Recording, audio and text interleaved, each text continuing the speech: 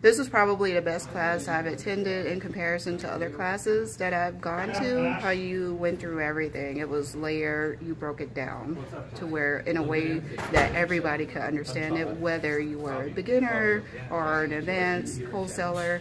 Um, I didn't feel like I was out of place.